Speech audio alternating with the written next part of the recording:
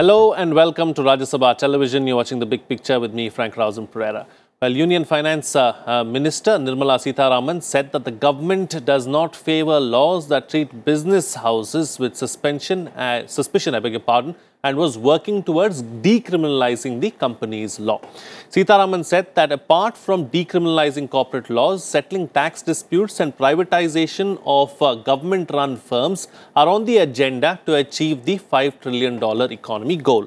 The government has already identified statutory changes to be made in the Companies Act that decriminalize procedure lapses and do not affect uh, public interest as part of its effort to improve ease of doing business. About 46 amendments to penal provisions may be made to either remove criminality or restrict punishment to only fine or allow rectification of defaults using alternatives to declog the criminal justice system in the country.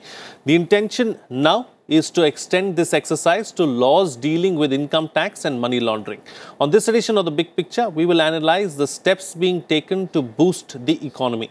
Joining me on the program today are Ajay Brahme, corporate lawyer, Subhomoy Bhattacharjee, consulting editor of the Business Standard, and Ajay Dua, former secretary, Ministry of Commerce and Industry. Thank you to all my guests for joining me on this edition of The Big Picture. Mr. Dua, let me begin the program with you. What do you make of the idea of decriminalizing corporate laws? I think let's first look at the overall uh, purpose for which about which he talked and which was mentioned by this was in reply to a question of Mr. Chandrasekhar mm. Chandrasekaran, the TCS president, who hap- uh, chairman who happened to be there and who has been voicing concern that it's become difficult to do business in India.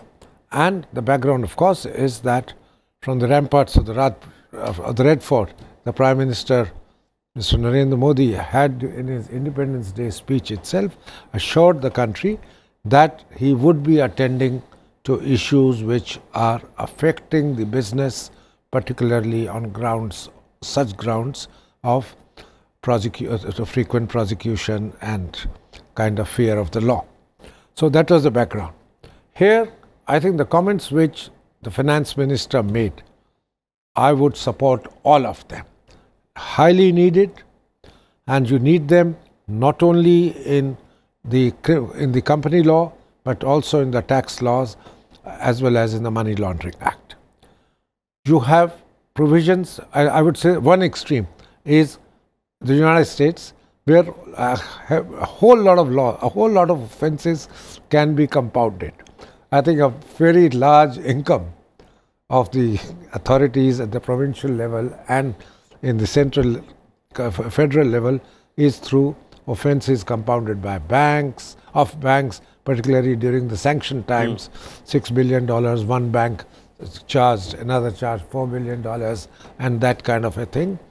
The, so, with that background, and then certain countries where probably some of them even in the Gulf, where everything is looked at even more suspiciously than us, and probably the judicial system is not as strong, as transparent as it should be. So we are somewhere in between. between. And the finance minister's comments and assurance has a background that in 2019, an amendment uh, to the Co Corporate uh, Company Affairs Act was made where certain minor minor offences were made, uh, were subjected to this liberal interpretation and the law was amended. Yet, the major ones remain. A committee which you talked about saying that the government is ready. Yes, a committee has been formed. It has given its recommendations and the government will probably be acting on it soon. Hmm. Desirable as it might be and, the, and also that these 46 uh, recommendations which have seem to have been made and which are pending for consideration have been classified into eight different categories of offences. I would think that one principle that we have to have a not swing extremely in any way from one to the other, but keep in mind that the milieu in which we are operating, the ecosystem of the country, and then decide what should be just attracting penal fines or alternate mechanisms uh, or what should continue to remain as deterrents. I say this, and I'm sure my colleagues would say that, sorry, I've taken a little extra time, that we should be looking at what is an offense under the Indian Penal Code for individuals. That continues to remain an offense when it is committed at a corporate level. level as well. Yeah. The otherwise we would say as an individual you are liable but not as a corporate. Hmm, hmm. But- And at corporate level you are many people to decide. Individual probably decides on his own. Hmm. If he conspires with someone, then he's also booked under a conspiracy charge under section 120B. So I would say let's find firstly a principle to decide that what is an individual offense should continue to remain when greater wisdom is applied, particularly when the char- when the offences are committed against larger number of people, shareholders, stakeholders are much more. Then look at what should be the penalties. Otherwise, amend the IPC also, which probably dates back to the English colonial Right, period. right. But a, a reasonable way of look going forward is called for. Okay, all right, Shubhoy. Uh, so let's not forget that the statement of the finance minister follows Mr. Chandra, Chandrasekaran's uh, statement as well, where he's uh, suggested on similar lines that industry needed supervision and not suspicion. So after this, do you think that the spirits in the industry is, is going to be improved? Uh, spirits would depend on i mean how the law provisions are changed. So as and when the things come along. You must also remember that uh, i mean it's it's a very good point to actually reduce these sort of things. Because what essentially happens is a country which is not able to get its policing act properly is uh, it, takes a big risk if it says that my policing is not good but and my con- enforcement of contract is not good yet i'll pile it on with more and more number of criminal cases. You know that essentially clogs the system. It helps no one. It simply ends up creating the fear of uh, i mean the state. And that i think that is that is where the point is the state would itself be doing itself a lot of benefit by saying that let's remove the power of i mean let's ensure that the police you know because that that, that itself is actually where india has got a major weakness. That the prosecution itself is very weak so let's let's in, let's not burden it with too many further laws to sort of you know to try to look around and that is where uh, there's a benefit necessary but also one must remember that we have got certain commitments under what is called the FATF. And there, a lot of cases, in fact, for the stock exchange and others, which were essentially civil offences, once we signed on the FATF, became criminal or were liable to have made, made criminal offences. So there's also an international commitment there. For instance, you know, money laundering. Now, money laundering is something which is very difficult to convert into a civil offense, even though there have been a lot of cases about it, because money laundering is something under the FATF. And under the FATF, we are guided by the OECD guidelines. And, and, and there, to try to make it a civil, a civil offense will be fiendishly difficult. Also, the fact is that in the wake of the several corruption accusations that came up in the post in the 11 night 2011 to 2013 period when so many of those scams and other things came up the public demand became of exemplary punishment. And exemplary punishment couldn't necessarily the state couldn't necessarily be seen as handing out exemplary punishment if it was just giving out a compounding offense.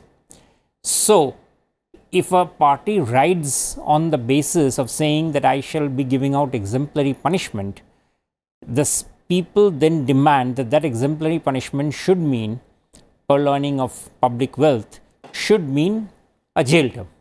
You know, that, that's the equivalence that is often made. To say now, I mean, to, so, so the government has actually to take, and, and this is a very major step that the government is taking, and it will be a very useful step hmm. because probably if we can do this, our rank on enforcement of contracts will actually rise up substantially. But it will have to be done with a lot of what I call educating the public generally that punishing or putting somebody in jail, creator of wealth, isn't necessarily the way wealth creation across the society is encouraged. People have to be, I mean, while there is always be a case like the fugitive offenders, we have talked about the economic uh, fugitive offenders uh, case, and that is entirely criminal. There has to be other cases where the person is not looked at as a criminal for a business risk gone awry. Right. And that would mean that, you know, taking the entire provision of tax laws and everything, everything will have to be cleaved out. Hmm. But as I said, when cleaving out, we have to also be remembering that FATF regulations say that some are not allowed to be cleaved out Okay. from criminal to civil. Right. So, Ajay, let me bring you to the picture now. So, uh, what kind of tweaks, what kind of uh, changes do we need to see in some of these laws? What is desirable? See, I think to answer your question, I think we should also look at the genesis or rather how it all started. So, it all started, so it's not first, firstly this decriminalization thing which is happening in the business laws in general is nothing new. It started way back in 1991, since 1991. So, initially there was this export import uh, act, imports and exports act which was changed which was I would say you know a new act came which was called as foreign trade act. Similarly initially there was this FERA act 1973 which was replaced by FEMA. So you know these these new acts came actually with a view to decriminalize the thing things so that more and more investors from outside specially they may be lured to come and do business in the country. That is one. Secondly, having said this, when you say as to which all provisions or you know how it should happen, I would say that decriminalization is fine, but provisions which involve fraud or uh, where public interest is involved, I think in case you decriminalize such provisions, then uh, perhaps the confidence of even those people who intend to come to the come back come to the country even that will be shaken. For instance uh, the csr clause a 2% clause which general public knows as. Initially it was brought in with a you know it was brought in not it was not uh, there, there was no penal consequences. Then towards the end of 19 uh, or somewhere like uh, 19 18 it some penal provisions were added to it. In case you don't comply with it then there will be 3 years imprisonment. Yeah. then it has further now once again it has been decriminalized. Likewise there are several other provisions like conflict of interest for instance in case there is a disclosure requirement. These are some of the some of the very important things and you know serious uh, matters which shouldn't be decriminalized in my opinion. Right. having said this in case as uh, sir has already stated see this is if i may say so this is like a special statute meant for business the company law. Whereas uh, ipc and those criminal uh, statutes are general statutes.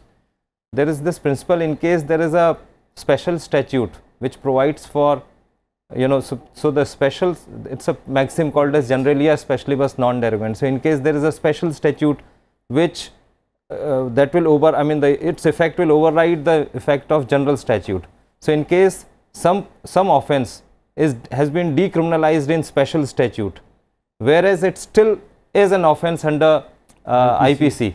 So then it cannot be treated un under section 320. Section 320 CRPC is for uh, compounding of of offenses. Yeah.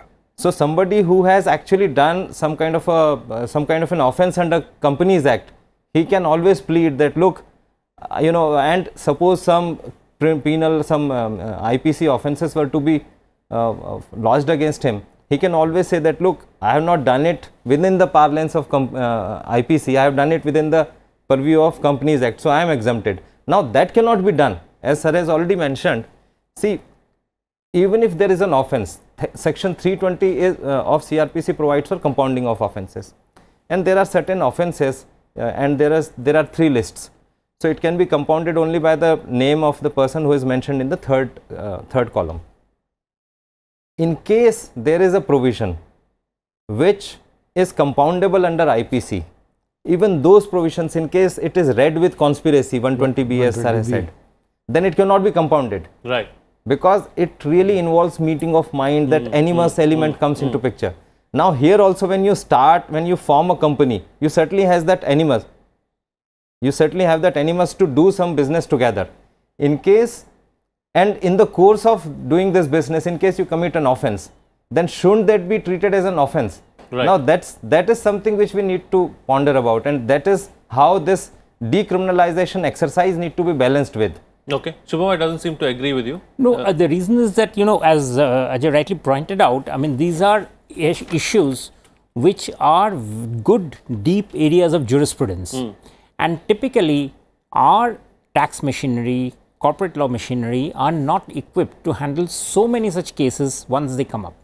The volume overwhelms, which is why the cases run for long time, helps no one which is what Mr. Chandrasekaran was pointing out. Others have also pointed out. Essentially, I think it's a good idea to, you know, sort of agree that probably we should be a bit more liberal. Allow things to be, you know, allow for good prosecution of few cases and let most other cases go through. The example is, for instance, Satyam. In Satyam, we ran a very complicated, long case where, frankly speaking, we didn't achieve much excepting getting Ramalinga Raju because there were lots of others. Whereas the SEC compounding offense punishment on PricewaterhouseCoopers was so effective, so clean, and so clearly argued that PwC had to had to sort of agree to it, pay up the damages, and SEC subsequently came into PwC to help them ratchet up their compliance procedures. That's what happens when you have a more liberal regime. It allows you allows the for a less confrontationist attitude between the uh, government and for the and for the business to allow for moving up you know the making the making the crime environment less pro, making the environment less prone to crime Okay. that that i think is very and important making the environment more conducive to business is what you're suggesting. Okay, all There- right. Let- let- a- yeah, there's very quickly. just one catch to what sir has said see whenever you decriminalize a provision uh, uh, cr- uh, particular offense a particular provision i would say. So compounding happens primarily against payment of some money. Yeah. so there's something called as plea bargaining. So the person who is affected you know he'll accept some money from the offender. Now this is this come and that is how it comes in the civil uh, re- uh, civil domain that essentially entails payment of some money this money will be paid out of business so then it is it will be accounted in The the, business business, costs expense. yeah. so look at look So- at it okay, from so- that perspective Okay, so that's where the catch is, is what you're Yeah. suggesting. All right, Mr. Dua, your thoughts on what, what both the gentlemen have said, and also, is there a lack of trust between the government and industry? Uh, Mr. Brahme, as a jurisprudence expert, has endorsed the principle which I was talking about, and I think he's developed it further, much more than I had thought. That, but that's the along the lines I am I am suggesting all the uh, grouping of the so-called 46 amendments which are being proposed be looked at. Second, I would say what is equally important for foreign investors, particularly the Indian, is that our regulations remain certain and predictable. They do not mind if you keep them. So the- A particular thing is an offense today. They don't mind keep it as a offense, or if it is a bailable one, non-bailable one, if it's a civil or it is that. But what also bothers them is overnight changes in regulations. For instance, the, he gave the very right example of corporate social responsibility. Is it a criminal offense in India? Is it a bailable? Is it a civil offense? And the how is the two percent defined? Whenever so, so, what I urge is not that it's not happening. Is I'm reiterating probably this that any change in established laws or enacting new laws must go through a thorough process of formulation, consultation, and then only we propose amendments or bring about the new law. See, changing a corporate social responsibility, innocuous act per se, some people will call it. Within a year, you amend it. First, you make it criminal, criminalize that act, then people protest, bring it to your notice, you change. So, such I would say anything which is you know, I would say of impacting more than an individual, it's a business environment, etc. The foreign investors. There are countries like Germany, countries like uh, Germany, Japan, where a lot of these things are not compoundable. Yet people know that this is what would happen if we cross the, uh, you know, th- the uh, the threshold limit or if we cross the line. If it's a, it's a red line, it remains a red line. So that is one point. Sorry, the second point, which, which was Is there a lack of trust between uh, the government and uh, industry? I would say I won't call it. There is one, but there is a there is a suspicion post the 2012 developments, whether, it was in 5G, uh, 2G allocation, whether it was in coal, and post that the when the banks have felt the pinch of a lot of NPAs and some of those borrowers disappearing doing the Fugitive uh, Act. So the, the government agencies have become more uh, kind of, I would say, Stringent. vig- string- vigilant, stringent, tax ag- and that includes the government. So to that, and at the same time, the businessmen are themselves experiencing the impact of global slowdown as well as their domestic so- slowdown. So the bonhomie and the trust, mutual trust, which was probably there between the two of them, was is bound to g- get to some extent.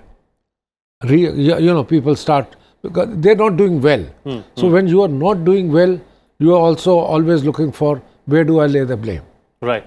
and the government comes in handy as the punching bag. Okay. Okay. Shiboy, taking the discussion forward now, how big an issue is really compliance to some of these raw r- rules, regulations, and you know policies that we have in place? I agree. I mean, I agree with Mr. Du- what Mr. Dua is saying about uh, the, ensuring that there isn't too many changes, but it's also about having smart policies, smart laws. Let's take an example. For years, we have been handling this NB, uh, NPA crisis cases. There was a SARFAESI Act, and there was before that, the, and after that, there have been so many cases. It didn't really help. But look at IBC. IBC doesn't have any penal provision at least i mean the, excepting those who are handling it if there's a certain malafide but otherwise there's no penal but it's such a smart act that it has ensured far amount of resolution than any other act that has been uh, put in the corporate sector But with amendments, if I might say, every session of parliament. it has where- needed no, it no, was necessary so- it was necessary because unless you did it because for instance the promoters no, no, wanted to come in through the uh, back door Mr. Dua is suggesting do so after discussing it thoroughly and then go ahead. You don't need any. No, as we have, no, no. as no, as we had also discussed, as we had also written in the paper, that the government has actually every time there's been a challenge, the government has actually been in this case, in the case of IBC, it has been good to take on the change immediately. It was necessary because that was a case because that was IBC was frankly being initially being gamed, and that gaming was necessary to stop it. But there have been lots of other cases, like in the case of FERA and FEMA, which Ajay is pointing out. FERA was a criminal case, I mean, was a criminal offense it FEMA came in with civil ability, with civil liabilities, but over the years, FEMA has got back criminal provisions. That's bad. That doesn't help at all. Because that essentially means that the government, what is the government is doing, is essentially saying that I don't have the ability, like the IBC, unlike the IBC, I don't have the ability to handle it through the normal courts. So therefore, I use the fear of criminal act to make business fall in line. Hmm. This is a very bad mentality. This doesn't help. And that is where the problem comes in. Because it, it's like that since I, since I don't know how to go through the courts, I give the example of the Satyam case. So therefore, I will use the fear of a crime to instill behavior change. And frankly, that creates adversarial position. And that is where all this issue is coming about, which just doesn't help anyone. Right, right. You know, Mr. Dua, uh, just to take the point forward, you know, the fact of the matter is at the end of the day, our laws, laws are also condemned for not being abreast with the time. So that also is an issue and they need to be amended from time to time. Of course, there is no doubt at all the laws must be contemporary and you cannot have antiquated or outdated laws in position. But here we are talking about the example of the act which it took.